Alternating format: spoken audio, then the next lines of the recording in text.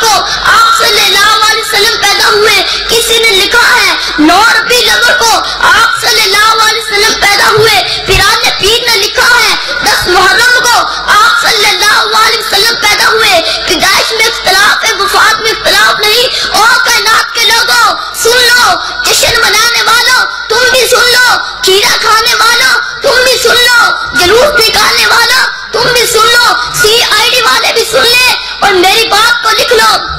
جس دن میرے پاک پیغمبر کی وفات ہے، اس دن جھنڈیاں لگاتے ہو، اس دن جلوس نکالتے ہو، ایک دن روزہ بنا کر دوسرے دن گراتے ہو۔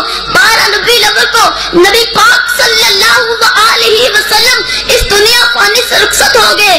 سیدنا حضرت ابو بکر صدیق رضی اللہ تعالی عنہ گھوڑے پر سوار ہوئے اور گھوڑے سے اترے۔ سیدھا اما شاہ صدیقہ کے حجرہ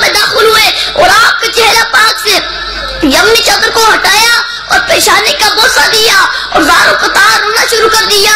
یہ بخاری کی حدیث ہے، حضرت ابو بکر صدیق نہ رو رہے ہو تو میں بجرم حضرت عمر فاروق نہ رو رہے ہو تو میں بجرم حضرت علی نہ رو رہے ہو تو میں بجرم حضرت عائشہ صدیقہ نہ رو رہی ہو تو میں بجرم آپ صلی اللہ علیہ وسلم کی دل کا ٹکڑا، آپ صلی اللہ علیہ وسلم کی لخت جگر، حضرت فاطمہ زہرا نہ رو رہی ہو تو میں بجرم حضرات گرامی، تو مجھے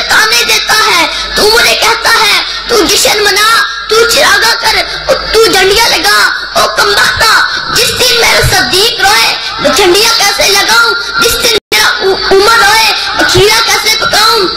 جس دن حضرت علی روئے، میں جشن کیسے مناؤں؟ جس دن حضرت عائشہ سے